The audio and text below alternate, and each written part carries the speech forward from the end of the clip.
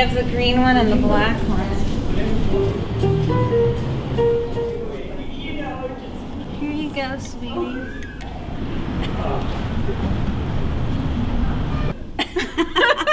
It looks like it's kind of coming up.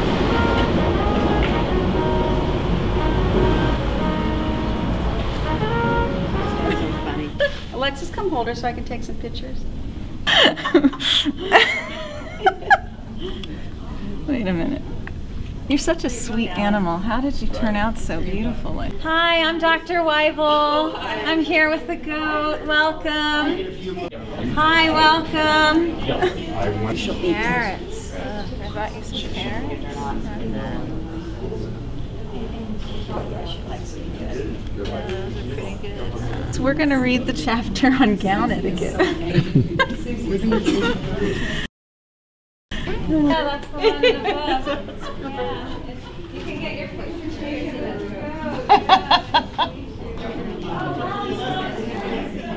What color hat would you like? That one looks fine. Good. Dr. Pamela Weil- uh, Wible is a family physician born into a family of physicians. Her parents warned her not to pursue medicine, but she followed her heart only to to discover to heal her patients, she had to first heal the profession.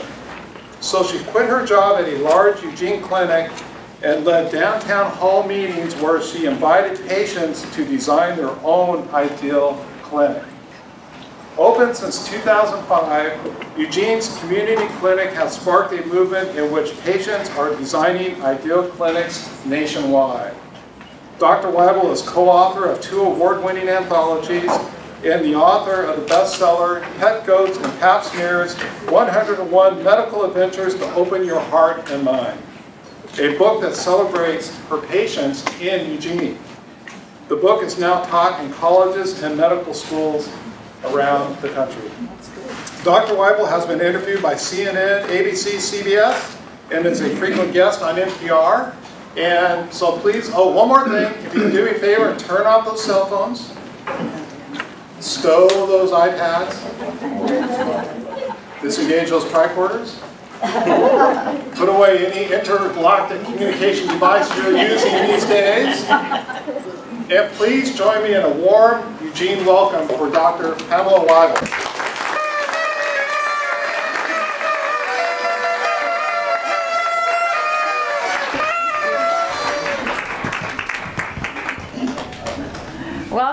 To the Eugene Public Library and to the celebration of pet goats and pap smears.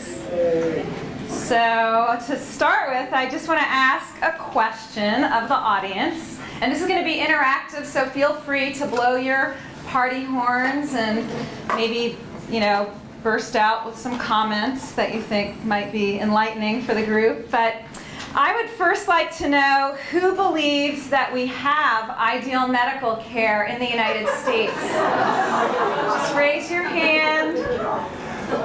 No hands. Okay.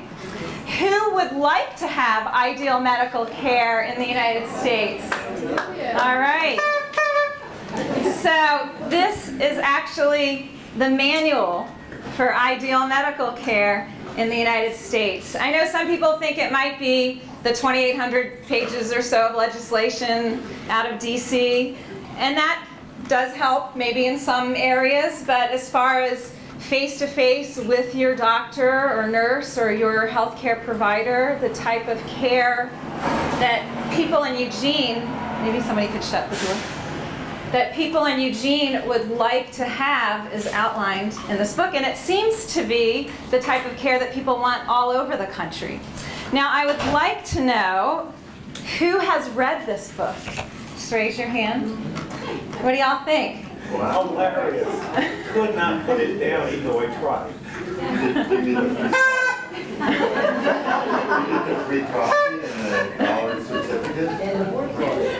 And does anyone, specifically people who've read the book might be more clued in, does anyone have any idea why there's a goat on the cover of this book? I'd like to have, just raise your hand if you have any idea, maybe even an inkling about why there's a goat on the cover. And I'd like to have three of you come up to the front, please. You're, you're going to get awards. Anyone who comes up to the front is going to get a prize. So, yeah, come on up to the front. Three people, you might have to run and compete at times. Okay, what's your name?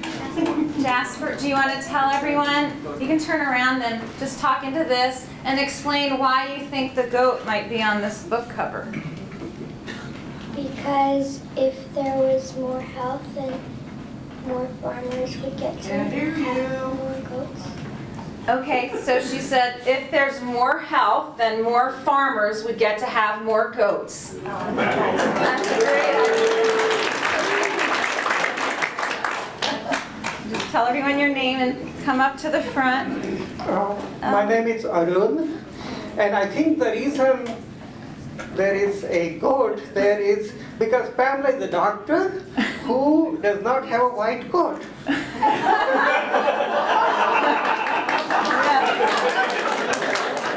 Instead of a white coat, I have a white goat. And maybe that would help. Just that one shift in most clinics might bring us down to earth and uh, maybe we'd have more ideal medical care. Who knows? Kiki, what do you think? Then what way? Kiki illustrated the book. Oh.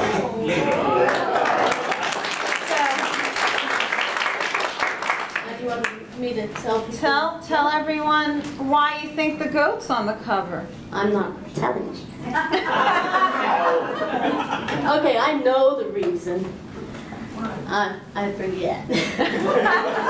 No, I do know the reason. The reason was that when Pamela did this everywhere, when she was asking folks um, to come and meet with her in her town hall meetings, which is what this is again. Again, does this work better? Yeah. Oh, yeah. Hi. um, oftentimes, across the country, wherever it was that she would go, speaking to audiences, somebody invariably would say, we want a pet goat. Can we bring our goats? Will you have a goat? And then uh, everywhere, a lot of folks always wanted a, a therapy goat or a friend goat there to keep them company while they got a pap smear or whatever else. So that's the reason. That's the reason why. What was the one that, uh, the, Jacob. yeah, yeah, yeah. Well, Okay, I'll read it. Yeah, that, that part. Okay. Okay. Thank you, everybody. And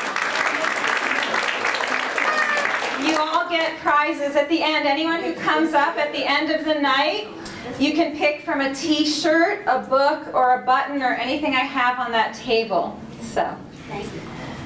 So this is the reason why the goat is on the cover of the book. Is I had these town hall meetings, and uh, this is the result right here of the town hall meetings throughout Lane County. There's a hundred pages of testimony here, and all I did was ask, how can I serve you? What can I do for you? What describe your ideal clinic. And people wrote pages and pages of what they really want. And all I did, it's kind of a no-brainer, is read what they want and do it. So what came as sort of a shock to me is, again, all the times that people would mention goats or use goat metaphors or analogies. And I can, I can read one of them.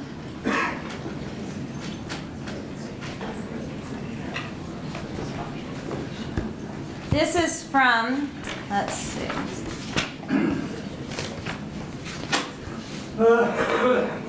So, by the way, what people mostly want is a happy doctor. People want a happy, uh-oh, a happy doctor who is on time and respects the patients in a comfortable room where there's not, you know, a ton of fluorescent lights and scary sharp instruments and cold hands and cold stethoscopes. And they just want basically a human being. They want to walk into a place that feels like a living room and sit with somebody who they consider a friend who happens to be their doctor. That's what people want in Eugene and a lot of other towns. And this is, you know, it's not just the goat that was uh, there's there's there's more than the goat theme going on. The people that talked about goats also talked about cats at the same time, and it happened in different cities. And I just had to laugh. But I'm going to read this from Jacob. He's the star of chapter two in the book, and this is his testimony. They would have a pet cat that would greet you in the waiting room, houseplants, cool kids' toys, good and intriguing magazines that I will ask to borrow and I'll have time to read, a clean space with friendly, relaxed workers that I know, a community of doctors that work in all types of practices and work together to heal people in need, massage, Western and Eastern, medicine, acupuncture, and whatever else is available from this cohesive community of healers. They would have a big garden and a running stream, and you could come over for lunch and play with the pet goats who would inadvertently heal your broken leg. And I'm going to play you another piece of testimony and audio um, from Wisconsin when I did an, a, a town hall meeting there with about 300 people. And you can hear another woman talk about goats. Uh-oh, wait a minute. Wait a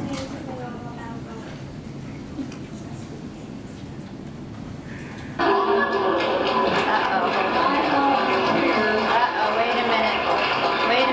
I My name is. Debbie. Here we go. Um, hi, I'm Carrie from Western Dairyland. Um, when my goat was sick, I was able to call the Osseo Augusta Veterinary Clinic. And Dr. Linda showed up at my farm in Augusta, went out into the pasture, put her hay boots on, brought her six-year-old son with her, and her intern. Went out into the pasture, listened to us, involved us. We all chased him down and took care of him in the barn. Then she went on to the nesting box where we had a new litter of kittens and took a look at all of those kittens to make sure that they were okay and gave us what she thought the gender was. And then she went to the house and set up on our porch a triage table for my house cat who was having some issues, all to the cost of a $35 house call. That's what I want. That's what, maybe not to be treated like a human, but like a goat. I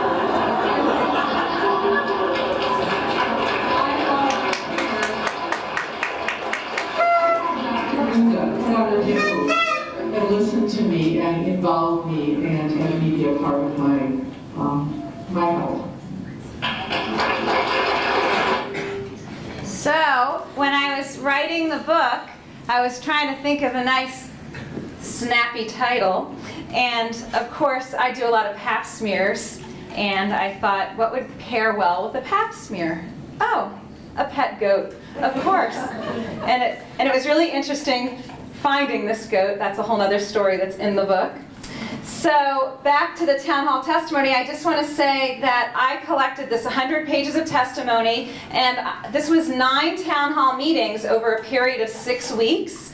And I read the testimony, I was able to adopt 90% and open this ideal medical clinic one month later. Yeah, with no extra loans or anything. It's just what people want is so simple. And this has now been replicated across the country. Doctors are coming to retreats to learn how to do the same thing in different cities. And patients are taking charge of not only their own health, but the kind of health care they'd like to receive. So why, I'd like to just open up another question for people to win some prizes. Why do you think I did this? Why would I go to the trouble of having town hall meetings and doing this whole weird, wacky thing? Oh, come to the front. Three people come to the front and maybe share. All right. Hi, I'm Jeff, and she was, uh, reason she did this was she was sick and tired of normal medicine as it has become industrialized and so depersonalized that it was just major burnout and had this epiphany and thought just ask people what they want and give it Ta-da! Yeah, right on target. Thank you. Okay, why would somebody do something like this? I think that personally, she just cared about people and wanting to get people well. This was the way to do it. Thank you. And what's your name and My why name's- would I do My this? name's Lon, Uh-huh. and uh, I was going to say the same thing James did, but uh, I came up here for like prize. Because she cared, because she wanted to do something from her heart and not from uh, no time to say, say hello. Here. What are jobs more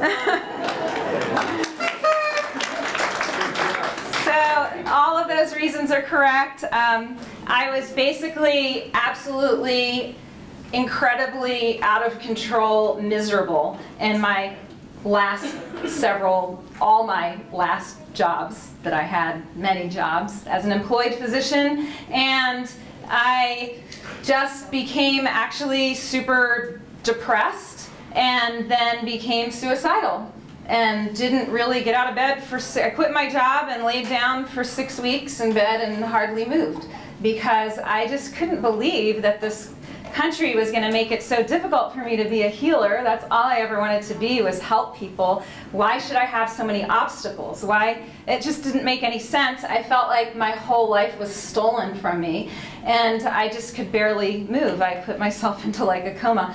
Um, deep depressed, my sister-in-law at the time told me means you need a deep rest. So that's what I did. I took a deep rest. And that's when I woke up with this epiphany, which I feel like was given to me by Spirit, God, whomever. It was like a big wake up call from the universe that you don't have to be a miserable doctor. You can actually get to know your patients again and ask your patients for help which is kind of a novel idea because most doctors don't ask anyone for help. And so to, to, to be vulnerable enough to tell your patients that you're miserable and you just hate your job as a doctor and want them to redesign an ideal clinic and that you'll work for them is kind of a, I guess, a bold move, but it, but it worked. And I think patients are, are brilliant. I mean, asking the end user what they want is, is a good way to go in any business. So then what I do want to talk about that came to me after I wrote the book. The book was published September 29th, and two days later, we had a physician in Eugene who shot himself in the head on Mount Pisgah. So, a physician suicide, which was the third physician suicide in 18 months in Eugene. So, on the other end of the spectrum is if we don't start creating ideal medical clinics and we continue in the direction we're going, we're going to lose our doctors either to retirement, depression, burnout, suicide, something. They'll change careers, they'll go into banking, or who knows. But these are people who are humanitarians who went into medicine with idealistic notions, and they were basically, in my opinion, brutalized in their training and graduated medical school with basically PTSD and dehumanization as part of our training because they think it's important for us to be professionally distant, detached, which after a while is harmful to yourself to be detached from your own emotions and spirit. So, so yes, I had to do something. Uh, by the way, not only did we lose three physicians to suicide in Eugene, and we've lost far many more than that, but just in a span of 18 months, that's quite a lot. Uh, also, the two men that I dated in medical school died by suicide. So as physicians, when they graduated medical school, you know, leaving young children behind, and it's just so sad and so unnecessary. And so that's the sense of urgency I have with this message, which is why I want all of you to run out of here with as many books as possible and share them, whether you can afford them or not. Or not. I mean, it's $10 for the book. All the money goes to help other physicians open these clinics around the country and to help medical students and yeah, live their dreams, which is what we want. We want our doctors to live their dreams because that's the kind of health care you want to get from a person who loves their job. So what it felt like to me was that I was stuck on an assembly line. It was like assembly line medicine And I felt like a factory farmed physician, which is a chapter in the book that I'm going to read a little bit from. Now, most of the book is very uplifting and, and fun, but, and I try to make it entertaining to be educated on some topics that maybe some people are not accustomed to hearing about. So I asked a number of physicians who also escaped assembly line medicine if they could come up with a, I, it was a contest I ran, if they could come up with a name um, for the opposite of ideal medical care. What's the opposite? What did you just run away from? And in chapter 31, I'm just going to read the list because I want you to understand how physicians really feel. And here's the list. Production-driven healthcare, McMedicine, doc in a box, meat market medicine, drive-by office visits, take a number, cattle car clinic, zombie care, Medi-Quickie, revolving door practice, freeze-dried med, one size fits none, Instamed, here's some meds, now get out medicine, premature consultation, treadmill medicine, rat race medicine, boot camp medicine, primarily don't care provider. the doctor-patient unrelationship. Please stand behind our bottom line clinic. Shrink-wrapped care, what drives our care with a money sign on the S. We provide, you survive, hamster wheel medicine. And this is how doctors really feel when they go to work every day. And I think most of them hate it. So I'm just sharing this so that you could have a level of compassion for our wounded healers that are feeling probably very victimized and trapped. And I know in our healthcare system, I, and, and many of you only go to the doctor infrequently, but we're at the doctor's office every day, and it kind of sucks for us every day if we have a sucky job. And so, there is an alternative. Um, I would like to uh, just share another, another idea I had when I was depressed. I thought maybe I would go back to waitressing. I started actually dreaming of going back to my waitressing job while I was uh, working in the clinic. Because I thought at least then I could I could make people happy. Because it seemed it's like impossible to make people happy in a 10 minute office visit if they have 60 minutes of problems. And and doctors are perfectionists working in an imperfect medical system which is an absolute catastrophe for them their personalities. It makes you feel like a failure at the end of every day that you can't ever really solve people's problems. You don't have enough time to do it. So I thought I'd just be a waitress again, and I know that if somebody wanted coffee, I could bring it to them and it would be warm. And I know I could do the croissant thing and I could bring them what they need. And I thought I would get a job at the Beanery at 24th and Hilyard. And I was really excited to just do a career shift and maybe live in a tent or whatever I had to do so that I could be a human being again and be friendly and make people happy, which is all I wanted to do. And so uh, before I filled out the application, I got depressed. I thought, well, maybe they won't accept me because I'm overqualified. And that just sent me into another kind of depression. But I would like to ask some people from the audience, well, just raise your hand if you've ever left a really great tip for a waitress. Okay, now why, why would you do that? Why would you leave a great tip? Because they're underpaid. Because they're underpaid. Great service. Great service. fun. Fun, attentive, friendly. Great. Just to be nice. And just to be nice, yeah. So, has anyone left a, a tip for their doctor? Raise your hand. Three people have left tips for their doctors. Why? Because I was in France and I liked very much prosciutto hams, and I make prosciutto hams in Parma, so I bought him three uh, big hams. Okay, he was in France and he loves this particular type of ham. He bought three hams for the doctor. Yeah. And he- What? All Italy couldn't resolve my problems, and he resolved my problems. He resolved the problem and nobody else could before that. So, yes, why? You get a second prize. You're going to come to the Why did you leave a tip? Well, And uh, what kind of tip did you I leave? had a piece of stick caught in my eye, stuck in my eye from working on with a chainsaw. And I went to a doctor over in Coquille, Oregon, and he knew I couldn't afford it. He knew I didn't have the insurance. He only charged me twenty-five dollars. So I left the tip. That guy sent him an extra twenty-five, but Oh, nice. Anyone else? Oh, yes. Um, We're from California, and we have a wonderful family doctor down there, Dr. Vincent. He's French, so we he would always spend a minimum of 30 minutes with us. And he's part of an HMO, and we always worried he would get in trouble for spending so much time with us.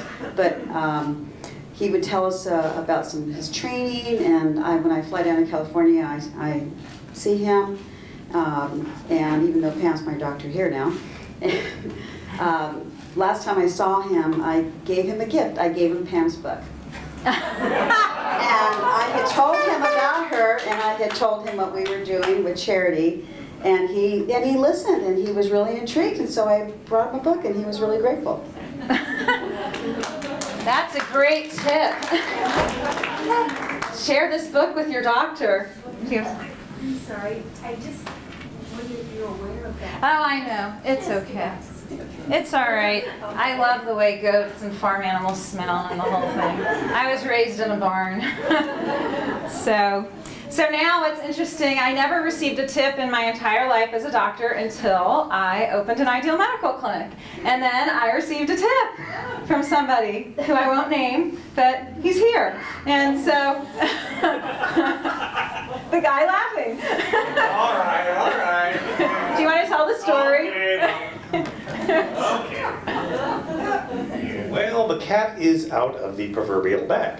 But then why would anybody put a cat in a bag? Anyway, aside from that, um, late one night, my wife Laura was having um, uh, pneumonia, and she'd been uh, meeting with Pamela and getting all the right meds and so forth. But she woke up at uh, nearly midnight, just coughing, just almost sounded like her, her head was going to explode. And my heart just went out to her, just so deeply.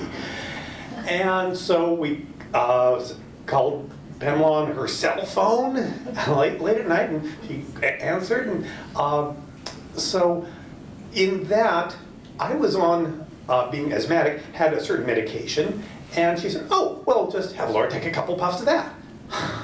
And so that got Laura through the night, and I thought, gosh, if we, if I had to take Laura down to the emergency room or urgent care, I would have just chewed their heads off. I could have gotten physically violent, and I don't like that. And so, but here Pamela was right there. I mean, what other doctor would know what meds I was on, what kind of stuff that Laura was dealing with, and at the same time, put them together for this one shot deal? It was brilliant. And so, uh, of course, it was deserving of a tip. Thank you. They sent me a $50 check and a holiday card, which I've never cashed because my dad told me to save it and show it when I go on Oprah one day. So it's in my special box of souvenirs to show on TV. um, and, and so this chapter is in the book. I forget which one. Do you know? It's like chapter 11 or something like that beginning.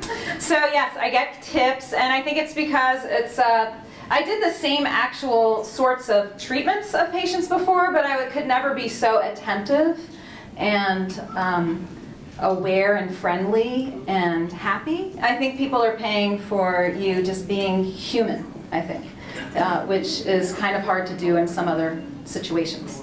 So now, you know, I do house calls. I go and see people wherever they are. Sometimes, you know, they're at the they're at the grocery store. Guy, uh, these are these are chapters in the book. A grocery store. I was just looking for pasta sauce one night at Sundance at 11 o'clock. I try to go late at night because I hate shopping. I like to go in the last five minutes that the store's open and run out. And so I was quickly picking out my pasta sauce when a patient of mine walked by and said he thought he had cancer.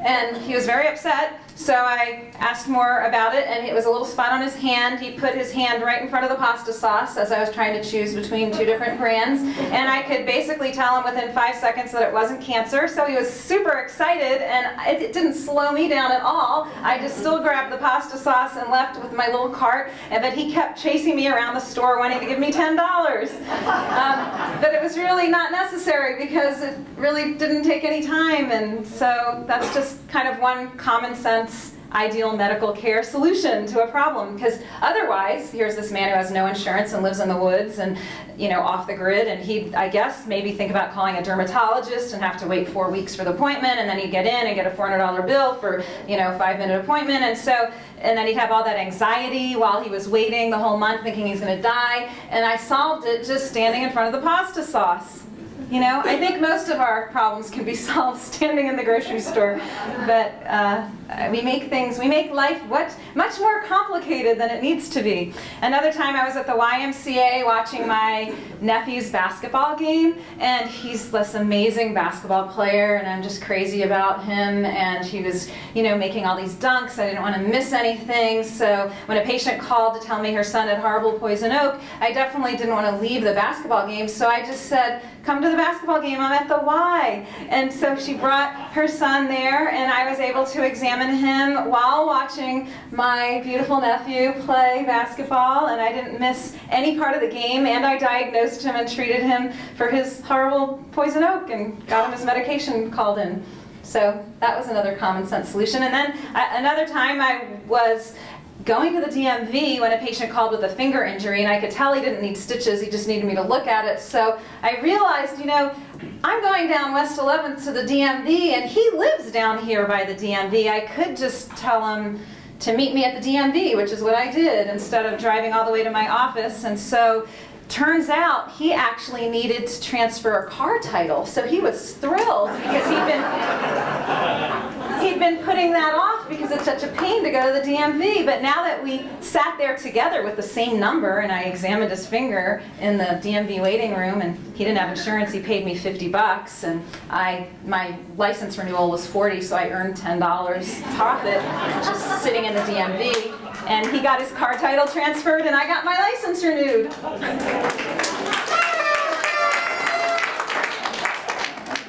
Another thing that makes people really happy is if you're on time and you don't make them wait forever in a big waiting room. And so I'm just curious, you know, in my office people really don't have to wait, and if they do have to wait, they get a consolation prize, which I'll talk about. But has anyone in here had to wait a really long time for a doctor's visit? Just raise your hand. Keep your hand up if it's been more than an hour that you've ever waited. Okay, has it been more than two hours that you've ever waited?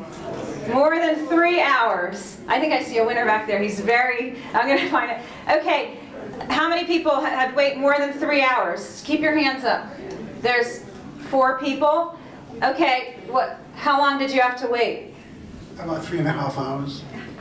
Would you like to, what was the situation? Where you weren't delivering a baby, it wasn't no No, no, no, no. I was a, I was a resident at uh, UT Southwestern in Texas. I had some problem with my foot, so I made an appointment with orthopedic surgeon, which is just next door.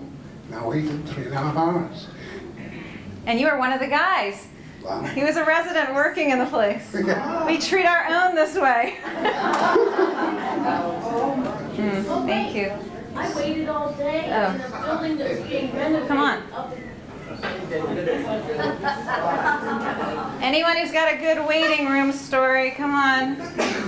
I discovered a malignant melanoma growing on my cervix, so I had a radical hippieectomy. And then it was suggested that I go seek potential radiation, but they sent me up to Pill Hill in Portland. And I ended up going alone in my clunker Volvo that barely thought it could make its way up to Portland. And it was raining and pouring. And I finally managed through all these road constructions, etc. I managed to finally get there. And I'm there alone. And the hospital was now a maze with all sorts of curtains hanging and, and construction all over the place. So I finally, finally found the place to be for radiation, to, to consult with them. And I think I started out like at 8.50 something in the morning. And by like five in the evening, after I met with, finally found somebody, and they said to me, what? There's no reason for you to be here at all. No, radiation isn't suggested for that. No, you're done. You had surgery. That's it. and then I also got lost, both coming and going, etc. So I really get a good prize. Yeah, so how long was that of a wait? That was a long wait. Yeah, it was like all day long. All day. And then two years later, it had reoccurred. Less of it and lower down. Oh, and it's extremely rare. Like, she was one of 12 yeah, one of 12 reported cases in the world. She's the illustrator of the book. Her stories but in the back of the book. Cases weren't, the other cases that weren't were reported were in the millions. um, but two years later, I did have radiation, which literally rendered me. So now I always have to be really careful and I can't ride bikes and whatnot. And there's all these things I can't do anymore. However, I'm here and I'm alive. So. Oh, and I had triplets in 85. Yeah. Nobody took it. I know. Well, I can't top that. Yes, yes, yes, come up. Yes, you can. Just say your story. All right. This is Lonnie. You might know him from the book. I, I, was about 16 years old and I was living in Sacramento and I got bit uh, on the wrist by a spider. And I went to a hospital that I won't mention Kaiser. And uh, they had me in there for about three and a half hours, four hours in the emergency ward. They looked me over, they said, ah, it's no problem, it's no problem. By then the lump had gotten, because whatever it was, my system was biting it off, the lump had gotten to here. And they just, oh, they dismissed me, oh, you'll be all right, kid, go home. About an hour later, my mother gets a call from the uh, hospital saying, you gotta get your son down here right now. He's gonna die if you don't get him down here. So by then, the lump was all the way up in the hair. I mean, I'm sure you know what I'm talking about. The poison was moving. And they put me in a room. Oh, well, the doctor will be with you right away. Four and a half, almost five hours later, I had the custodian waking me up, saying, why are you in here? I said, ah, I just got up, like I said, dumb 16-year-old kid, I just got up and walked home and just gave up on the corporate medicine at that point, but all right. Thank you. You get a t-shirt or a book. You already have a book. So now what happens in the book, you will realize that you do not have to put up with this waiting because actually I learned from a friend of mine who now bills her doctor when the doctor keeps her waiting. She bills the doctor at her hourly rate. So, and she gets reimbursed. So, yeah. So that's a story in the book, how you do that if you're interested. But I think that if we continue to be willing to be disrespected, then we will continue to be disrespected. If everyone stood up tomorrow and demanded to be seen around their appointment time, unless there's a legitimate emergency, then I think we'd have health care reform right away. And what I do is if for some reason I keep people waiting more than 10 minutes, they get a gift from a gift basket. So I have a nice gift basket full of locally made soaps and lotions and things from Saturday Market. So, so that was fun to do, and people love that. And I think I'll share just a few of my favorite prescriptions from the book. I don't know, who in here feels like we're over-medicated in this country? Okay, well, the reason why I think these fast visits, the only way to get out in and out of them is just to write a prescription really fast and pat somebody on the back often. And so now that I have the luxury of some time with my patients, I've been able to really solve their problems and by, by writing prescriptions that really get to the root of their issues. So this is chapter 13, and just I'll read through a little bit of it. Patients expect prescriptions. A lot of patients would be disappointed if they didn't get a prescription. Especially I found out like uh, Latin American patients. So there's many minority groups that would feel like they didn't get a fair a fair visit if they didn't get a pill because that's of course why they're there. And so doctors try to deliver and the problem is that most patients' needs can't be, uh, can't be solved with a little pink pill. So during the past 20 years, I've written a lot of prescriptions, and here are some of my favorites. And I'm going to hand out some prescriptions if you need them. So one is have great sex three times a week. Take a vacation to the coast. Go on a seven-day silent retreat in the woods. Find a girlfriend. Does anyone need a girlfriend? I have written a prescription here to hand out. If anyone needs a girlfriend, come on up. A boyfriend. Yes, here. I'll have to cross out the girl part of this. there you go. Refills. My patient took that prescription to Walmart and had a really interesting experience when he handed that to the pharmacist. That's also a story in the book. so, um, what about quit your job? That's a good one. Have your husband do the dishes for a week. Stop worrying, fall in love with yourself, speak your truth, get a puppy. I have a few others I'll pass out here that I think are really good, like who wants to have your children massage your feet before bed? Does anyone need that?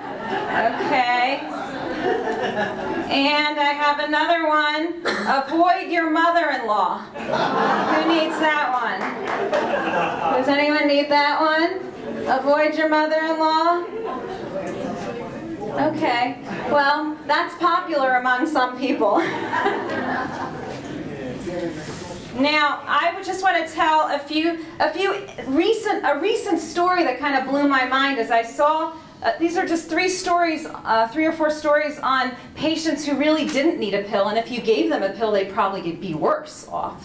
This one woman came to see me just a few weeks ago, and she was covered in pain patches. She sees another doctor, chronic pain issues. I just, she's like close to 80. I was just examining her, and even just touching her lightly on the skin, she was jumping off the table and was in just excruciating pain, and it was very concerning. I spent an hour trying to figure this out with her, and I determined that a lot of her pain was probably emotional, that her pain was actually not physically based.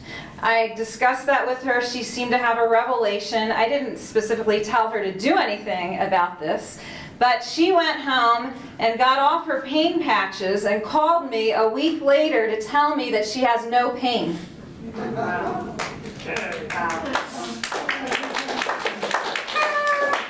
So I think this is happening around the country where people are being dosed with a lot of drugs for physical ailments that are not physical necessarily in nature, or at least they could be dealt with in a different way.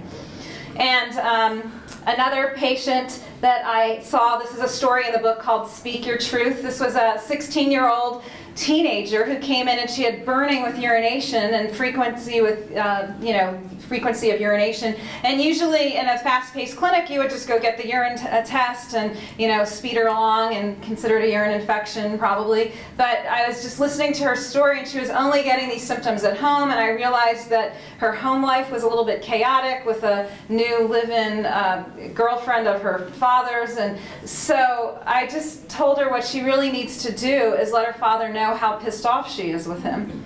And she needs to speak her truth and not hold it in. Because that was, you know, so she did. She did that. I never even examined her. I didn't touch her. I didn't look at her urine. I didn't do anything with her. And she called me up after talking to her father and told me her, her, her problems were gone. She had no more urinary symptoms. Another woman came in and she had foot pain. Her foot was in my face. I was trying to examine it. She was limping around.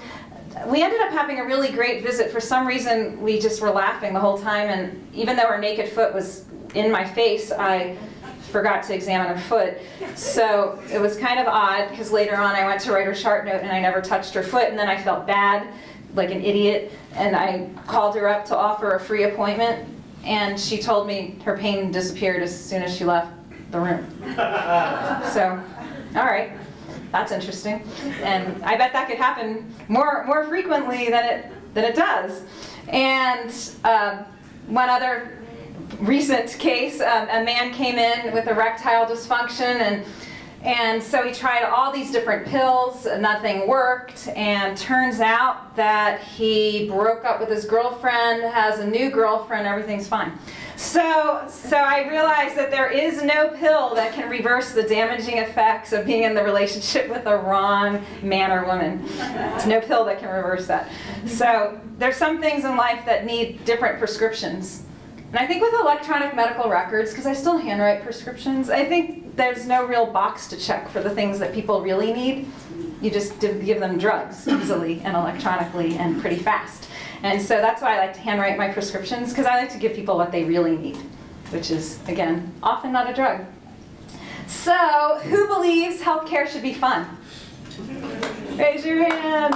Okay. Who does not have insurance and is looking for a doctor? Anyone without insurance looking for a doctor?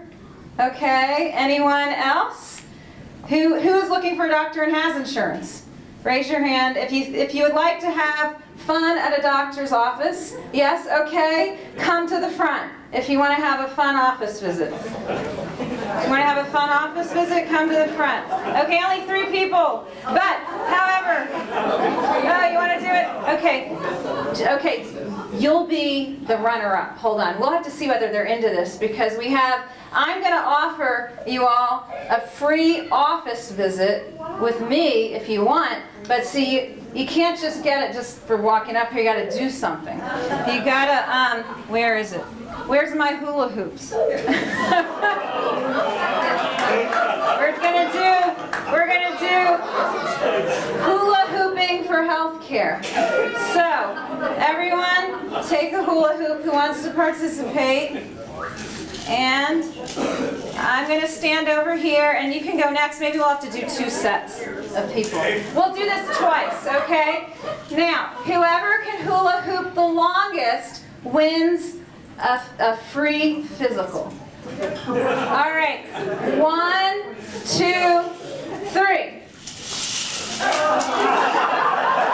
I think you might have won. sure, I think you won. Yeah, all right. Here you go. You're going to get a free physical. All right, we're to do that again. But just a minute first, the next group we'll do, you want to try? Okay, see how long you do it. I wonder if you do it.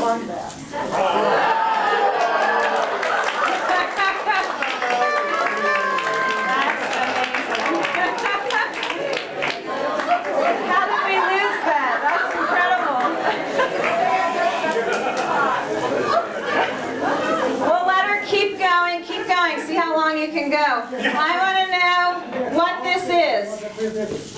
That's amazing. And she's hardly moving, and how, that's incredible. What's this?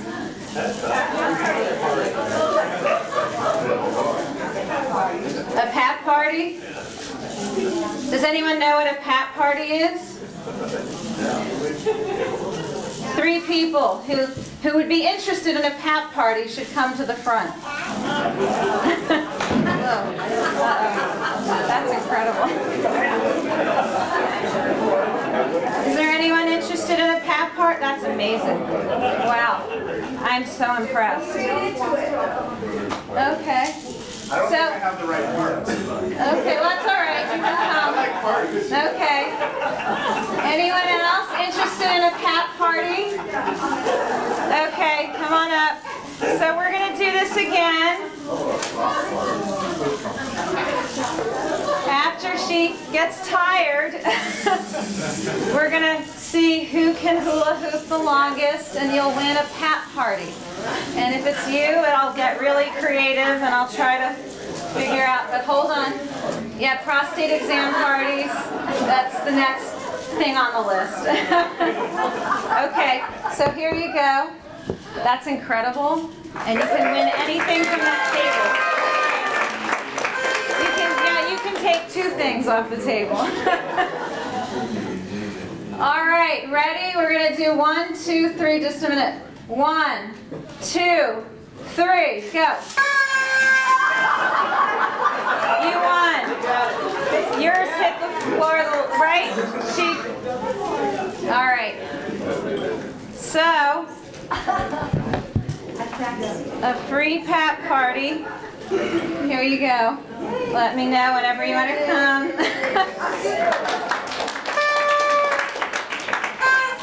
so before I end the, you know, speaking part of this. We'll all do Q&A. And I wanted to know if there's any people from the book that want to make a statement about, about their feelings regarding ideal medical care. I mean, the whole reason I'm doing this isn't just, you know, for fun and games, although that's fun, but I would like to just demonstrate that these are the types of stories that really heal people.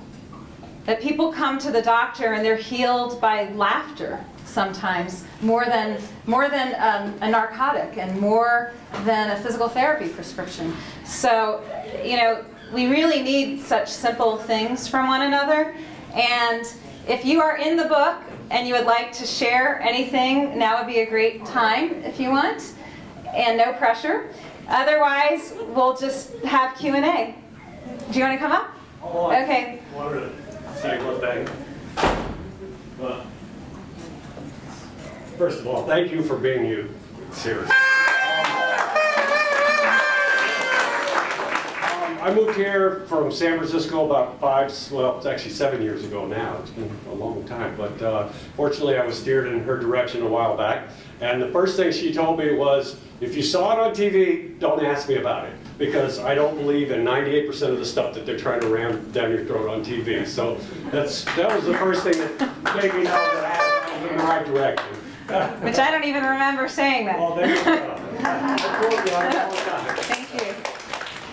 So Q&A, anyone that has a question about anything having to do with medic, come on up to the front if you don't mind, or I could repeat it, whatever. Just how you balance the need to make a living wage with not rushing people, with not being late for appointments. Good question. Okay, so how do I balance making a living wage with not rushing people? So a lot of times, And not, And- not, and not uh, being late. and not being late for appointments.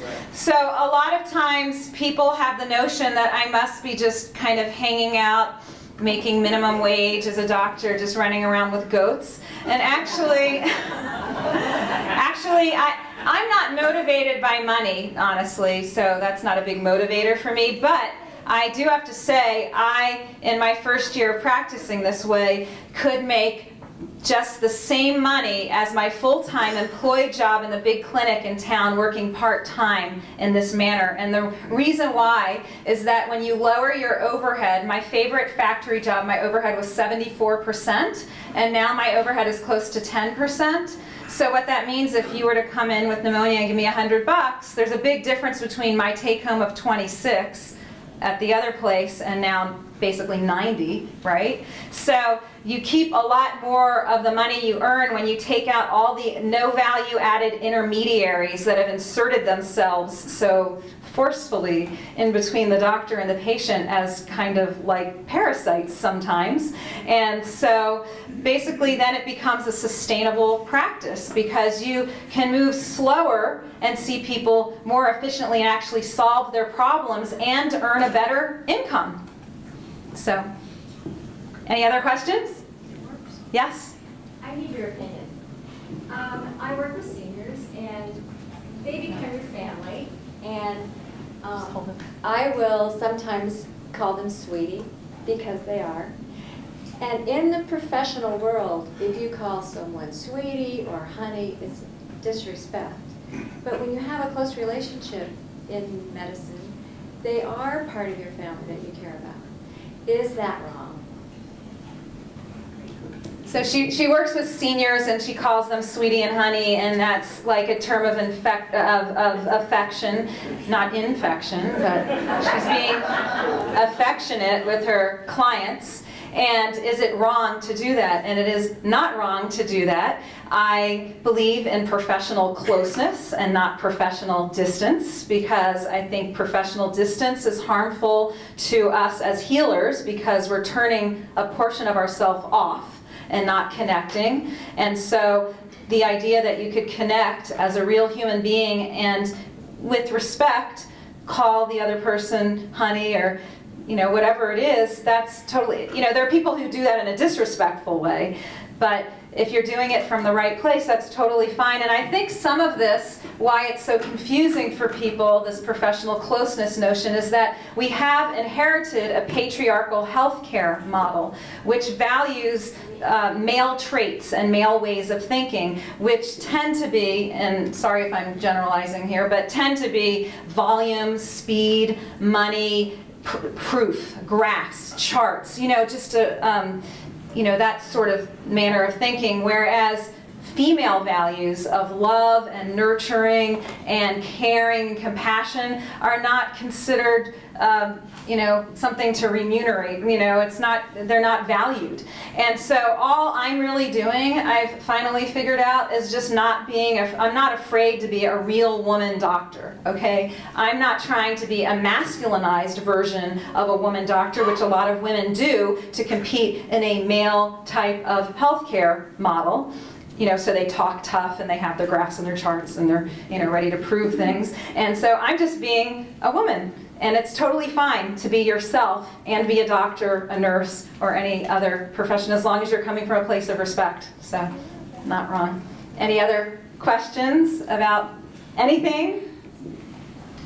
Oh, what kind of support staff do you have? Or what kind of support staff do I have? I have no supports. You guys are my support staff. I feel so supported by my community. So that really helps. That helps because people come and they're prepared for their appointments and they're ready with their copays and they're not, they know that if they're not prepared for their appointment, they're going to get less out of their appointment and they're going to throw extra work my way and then I'll burn out and I'll be where I was before. So it's a group effort. Like if patients come and they are prepared and ready and and have their questions listed and all of that, it works wonderful. I bill the insurance companies myself. I do my own, I take out my own trash, I, you know, do my own laundry uh, for the gowns and all of that. And so I take the vital signs of my patients like a nurse would do while I'm talking to them. So I do all the, all the tasks and I don't feel burdened by it because I work at a very humane pace. Now, what technology has allowed some people to do is be enslaved to an inhumane pace. And my understanding of technology and its promises was that it was going to make our life easier and not harder. And so I think we need to be in control of what we're doing with technology and not letting technology control us and making and decreasing the quality of our life, which I think has happened in medicine. You know, it's kind of the difference between, you know, being a parent of two children, you could probably do that really well, but parenting 17 children, you might not do so well. And that's what some doctors are doing is they have caseloads of people, like 2,000 patients they're responsible for. There's no way you can take care of 2,000 people well in 10-minute office visits. It just isn't going to happen. So. Also, on uh, your, you take your laptop with you wherever you go with uh, on during the uh, exam. You just snap in your notes right there, and you don't have any records keepers. Right. Yeah. So I just and I type with two fingers. I type this whole book with two fingers, which I think that's worth getting a copy just to say that I did that. Um, it's uh, and I move kind of fast now. I should have taken typing a long time ago. It would have helped me. But uh, yeah, I enter my own chart notes and yeah. So. Do you ever refer patients to specialists, like you have a network of doctors? Yes, I refer patients to all the same specialists that I would if I was in any other group in town. So I kind of know some of the really good cardiologists. I still refer to some of the really good cardiologists, and I, you know, know the neuro, you know, the neurologists who tend. I, I know what my patients want is people who spend more time with them, so I know which doctors are more kind of like me, so that they're not just getting rushed through. And then I, yeah, send the chart notes to the other doctors and have the same kind of relationship I would have with them anywhere else. Except what's interesting is now that I spend so much time with my patients, I really fill out a very complete chart note on them, including their social history. And there's a woman that I see who uh, was writing a children's book. I think, uh, what was the name of the lead character? Zulu or something, or uh, Zola. I forget the name. There's a children's book that one of my clients is writing, and I had interviewed her about it and written that in her chart note. And so when she went to the cardiologist, the first thing he said is, How's your book coming along? so I think the fact that I can humanize my patients, even on their chart notes, kind of jolts the the specialist to see them as, oh, a real person with a real life who does other things other than come to the neurologist. Okay. yes?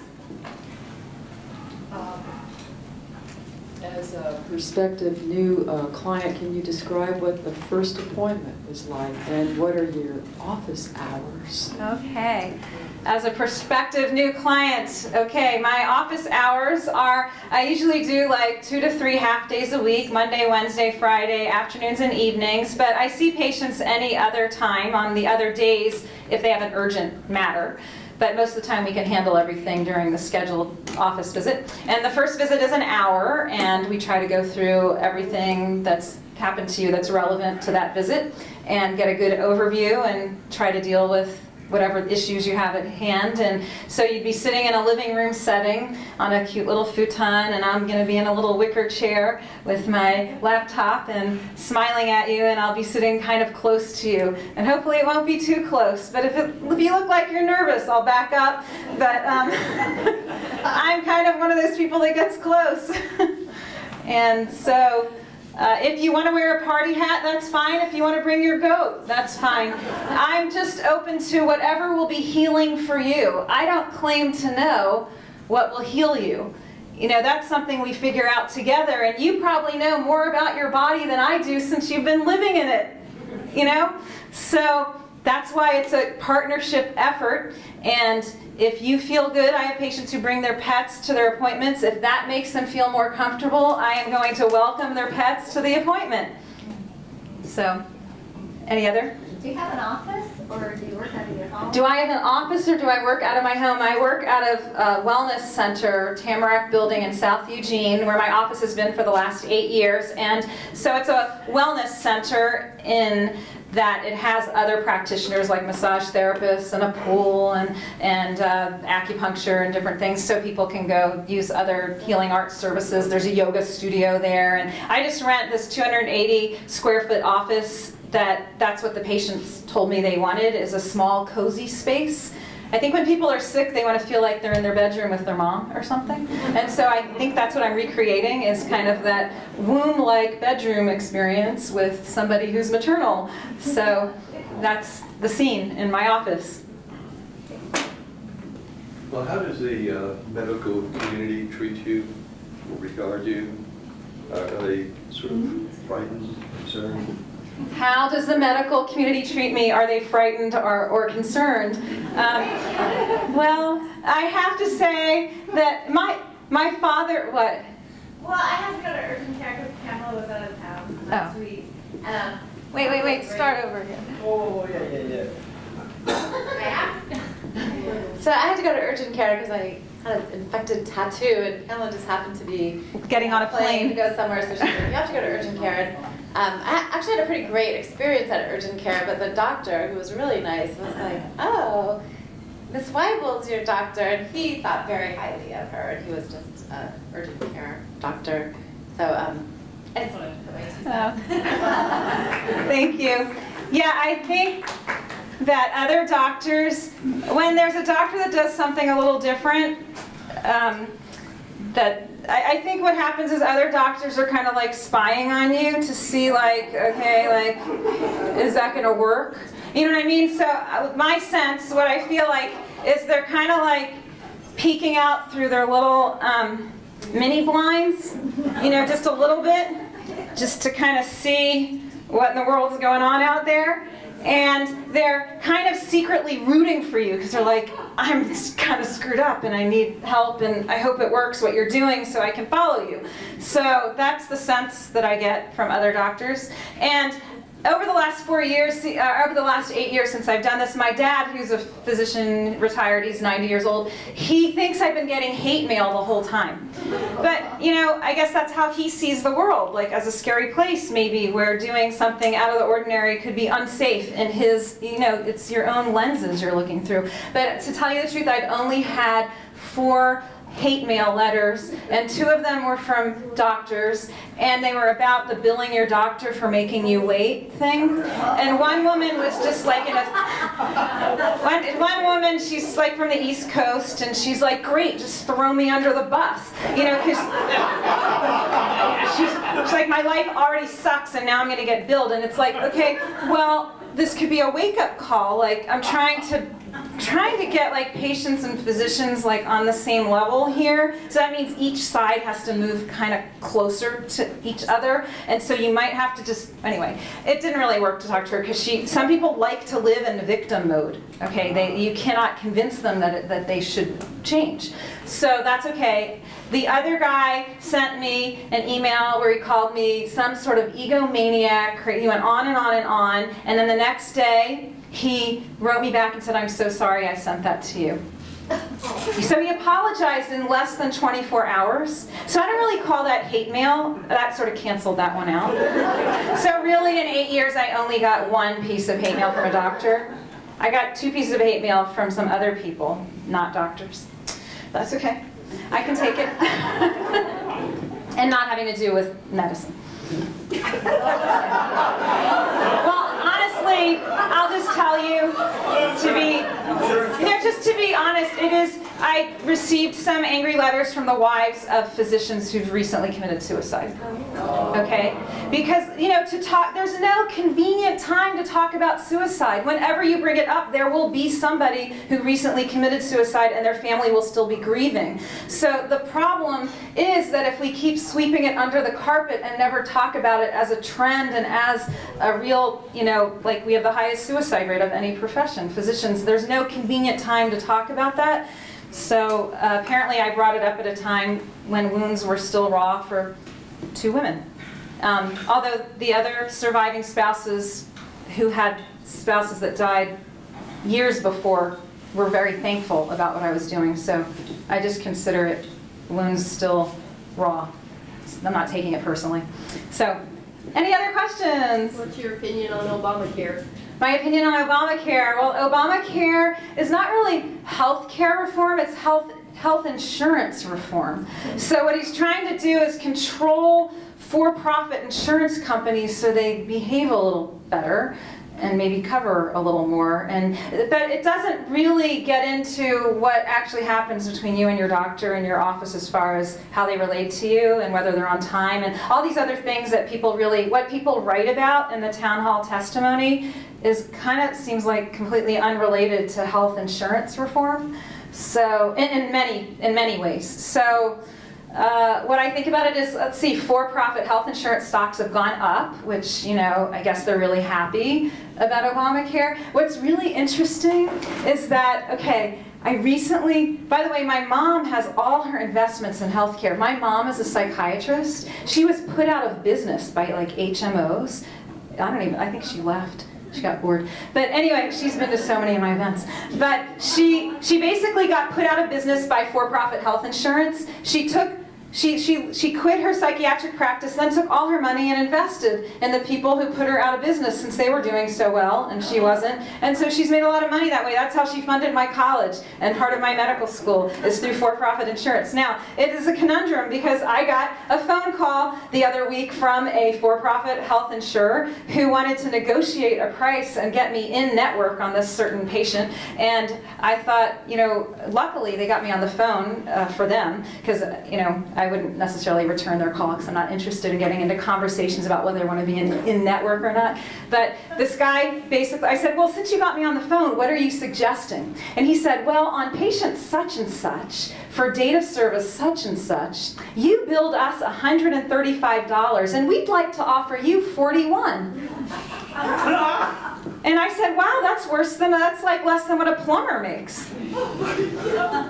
So I told him, no thank you, hung up the phone. And then I called my mom and I was like, and I put it on Facebook, you know, oh, I never guessed got this phone call. And then I told my mom, you know, what happened. And, and uh, she goes, you didn't accept the 41? And I said, no. She said, you're cutting into my retirement.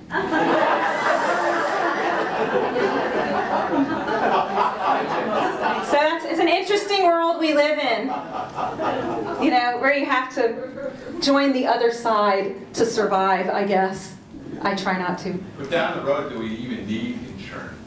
down the road do we even need insurance? I mean, wouldn't it be better to have doctor-patient? Yeah, I think for primary care, the analogy that's really good, back to the restaurant scene, is if you build a third party for your primary care, like what I do is kind of basic stuff, like it's not lung transplants that cost hundreds of thousand dollars. Yeah, this, if you build a third party for your restaurant, you know, you would basically wait like two weeks for a table and have 10 minutes to eat and it would cost twice as much, something like that. So it's like, and it doesn't really make sense that we're inviting insurance into such simple relationships that are really basically affordable for most people. And the ones that aren't, we can do sliding scale or something. I mean, obviously, if you need a lung transplant, you need a team and a tertiary care center and somehow to pay for that, you know, but 99% of what 99% of people need most of the time could be delivered in their neighborhood by a friendly doctor with a goat.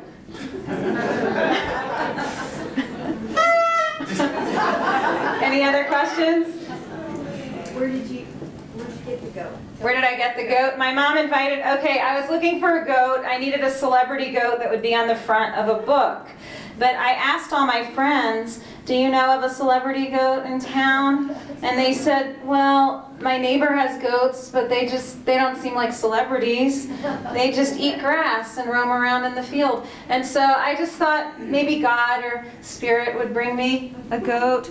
And I was really praying. And my mom invited me around that time to a soap making class. And I told her, I'm writing a book and I'm editing a manuscript and I'm really not in the soap making phase of my life right now. But she was very persistent because she wanted to spend time with me.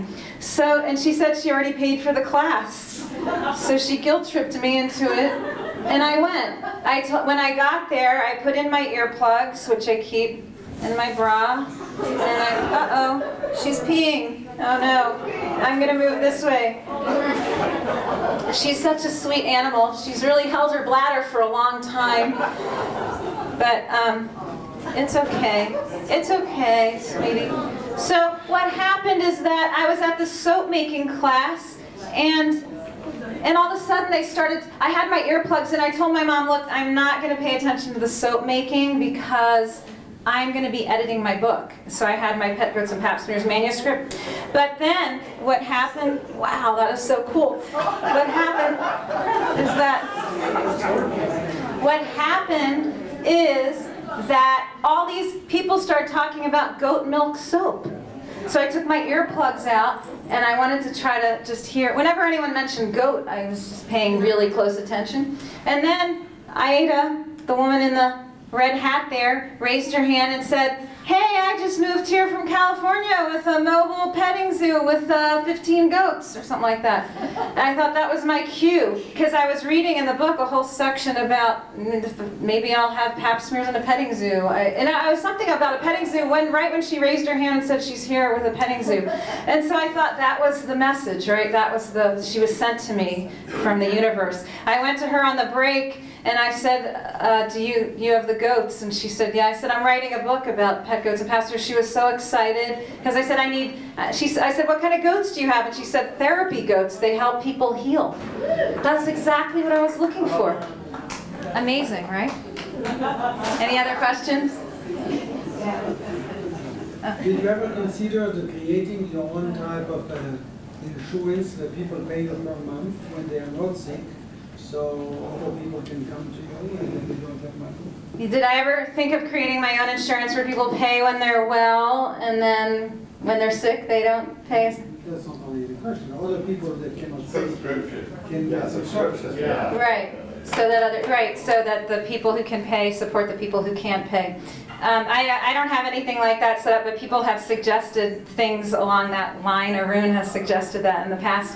And so um, I, I still don't turn anyone away for lack of money. So I see anyone who wants to come to me.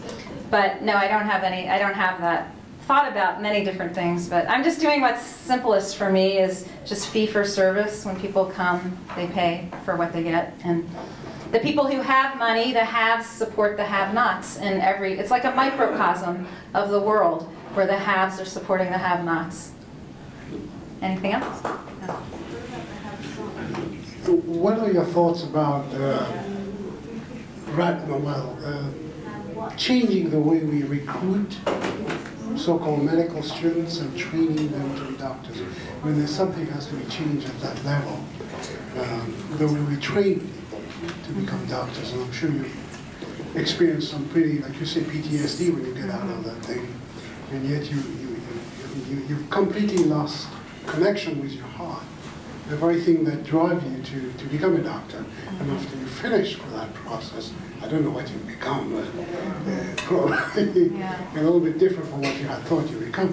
What are your thoughts about retraining? I mean, how are we going to change that? The way we educate people to become doctors. So the question is, and that's the last question, and then we'll have time to hang out, and if you want me to sign books, I can.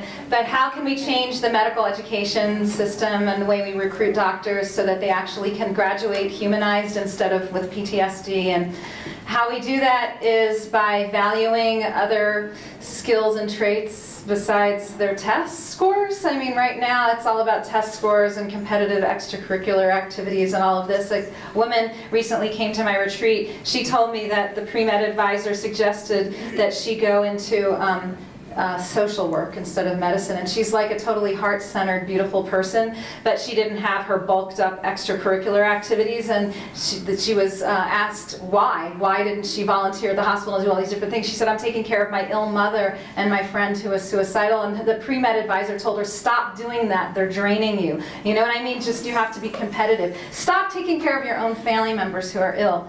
And and, yeah, and if you want to be a doctor, you need to stop caring about all these things and get competitive and cutthroat, right? And then, um, I, I, don't, I won't even share some other disturbing stuff that happened. But we need to change. I think the answer to your question is we need to reach into our souls and find ourselves again. And we need to have connected, heart-centered, warm, like real people as doctors. And then we will value training the next generation the same way. I think the book shows that it's possible to be a, a complete human being and a doctor and not like remove any part of yourself or disassociate from your emotions and spirit. So thank you all for coming.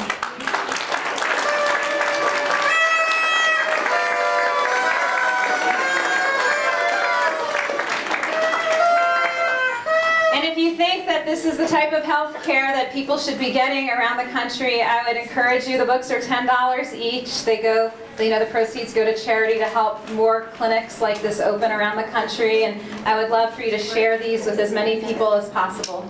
So, and I'll sign your books. And there's t-shirts, look. A one-of-a-kind situation here. This one is to Peter. Um, to, Oh, you've um, already signed it. Yeah, Oh, I okay, sign and didn't know. kiss every I didn't book. know. I thought you did it as this is No. great. I didn't know it was Oh, you thought I sat done. here and signed? I really I wanted to kiss. No, anyway. Thanks a lot.